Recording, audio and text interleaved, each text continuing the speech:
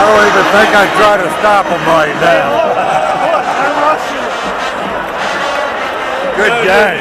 Yeah. We should do that. Have a seat. Go do it.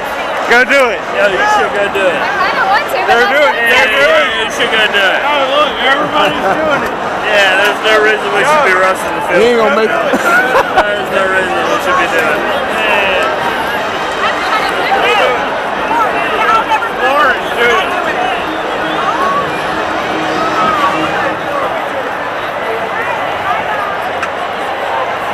Now scoring at the 245, Lucas Tony. As you ready here at Auburn Stadium,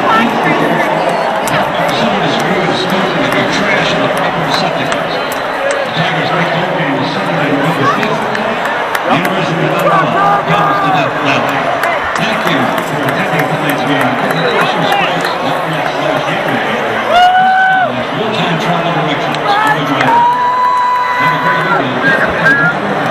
Thank you. Good night.